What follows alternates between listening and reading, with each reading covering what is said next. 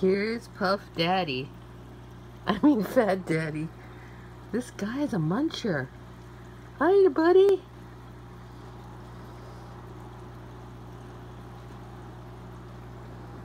So I found out that one of his favorite foods is shells. Oh my gosh.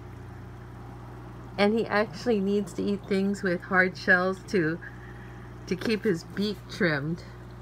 And uh, he's not shy. I just put him in this uh, tank and let's call him acclimated. Whoa. Whoa. Phat Daddi is a fighter. Yo. Yo. I'm gonna kill him. Rawr. Grrr, ruff. Yo. Oh.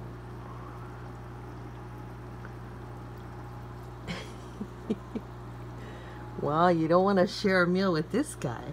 All right. That's my new roommate here. Phat Daddi.